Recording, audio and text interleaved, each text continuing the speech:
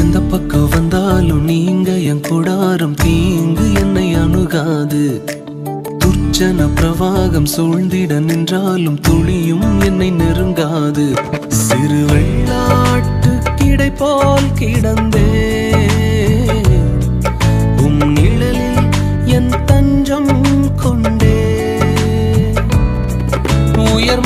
உம்